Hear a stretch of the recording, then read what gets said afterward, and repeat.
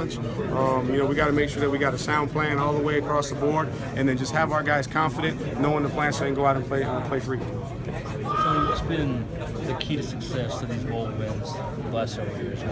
You know, I think it's the culture of our program. You know, where where where best is the standard, and and.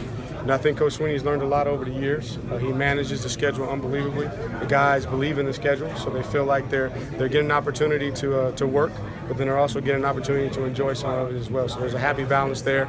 Uh, but I really just go back to the culture of our program that, that we want to be one of the best teams in the country, and you, we know that you got to play your best football down the stretch at the end of the season if you want to be remembered and considered as one of the best. You, most teams are intimidated by Alabama. You've been there. You've scored points on them. Is the is that level of, of having gone there and seen it and done it?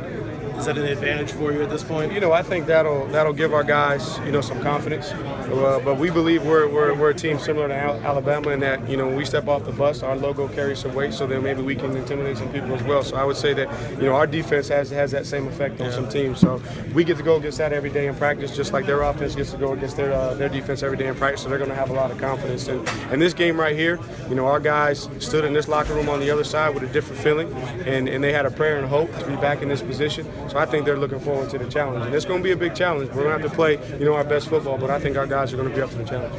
Thanks, Tony. Congratulations. Thank you. Thank you.